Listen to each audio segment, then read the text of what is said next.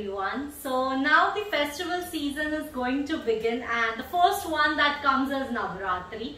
So in this video I'll be discussing about the diet plan that you can follow in during Navratri. A lot of people they gain weight during festival season. So in this video specifically I'll be discussing about foods that you could include into your plan even if you are fasting and how to effectively get in all the nutrients into your plan. Also, this is a pandemic time, so we need to make sure that our immunity doesn't get affected. Moreover, people they tend to gain weight during these festival seasons because we include foods that are mostly fried or sweets. But in this video, I'll be discussing how we can include those also into our plan and effectively not gain weight. If you follow the guidelines and everything properly, you would even lose weight while following this plan. In this video, I'll be discussing the overall plan that you can follow and if you're not using certain ingredients during those times, then you can definitely skip that out. So without wasting much of time, let's get started. Major thing that we need to keep in mind is how we start our day. So during this time, I'll suggest to start your day with having one glass of warm water with lemon juice into it and if you are allergic to lemon, then you can just have a glass of warm water. One who fasts during this Navratri has a different routine that they follow and different foods that they include. So some people, they just stay on fruits and nuts throughout the nine days. Some people include some type of grains into their plan. For breakfast, you can include different types of smoothies into your routine. Uh, you can add chia seeds into it in order to increase the nutritional value of your smoothie. Along with smoothies, you can even include nuts into your breakfast. So you can have almonds, walnuts, figs into your breakfast. Then for your mid-morning, you can have coconut water or any type of fresh juice that is without sugar. For your lunch, you can have a variety of options such as you can have sort of paneer or like basically a paneer stir fry or something. Along with that, you can have a fruit or you can have a roti that is made out of amaranth flour that is rajgira flour or from buckwheat flour that is kutuka atta. You can have that along with curd.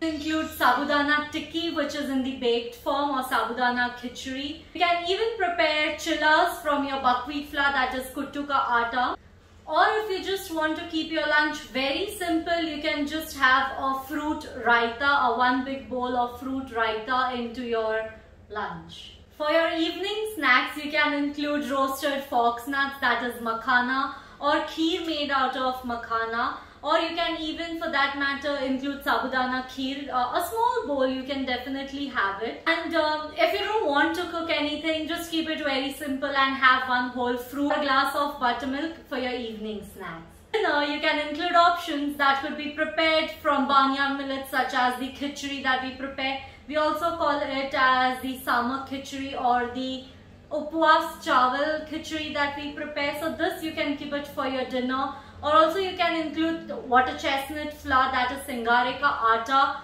So you can prepare chillas out of it or just a plain roti something or a porridge out of it. Also include buckwheat flour or amaranth flour preparations for your dinner. Basic plan that you can follow on for 9 days and trust me this will definitely help you if you follow it well to lose weight also. Also now just try to include spices such as cumin seeds, nutmeg, clove, green cardamom, rock salt, cinnamon into various preparations because these spices will also help you in order to keep your immunity intact. Vegetables like sweet potato, pumpkin, raw banana, they could be included into your plan. You can make a stuffed chilla, uh, making the stuffing preparation out of sweet potato or banana. You can just prepare a vegetable out of sweet potato as a side dish for your roti that could be prepared from any of your flours that is amaranth flour or buckwheat flour or water chestnut flour. A few points that you need to keep in mind is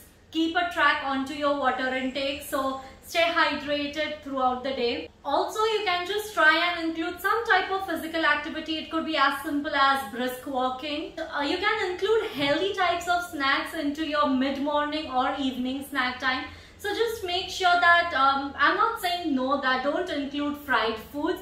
But yes, you just need to keep in mind that the quantity is very limited because I also understand that festivals are the only time when we get to eat such food. So do definitely include them. Keep in mind the quantity that you are eating.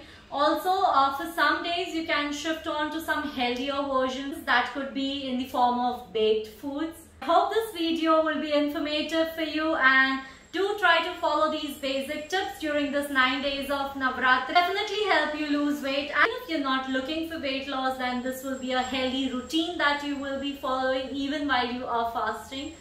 Thank you everyone. Do like, share and subscribe to my channel.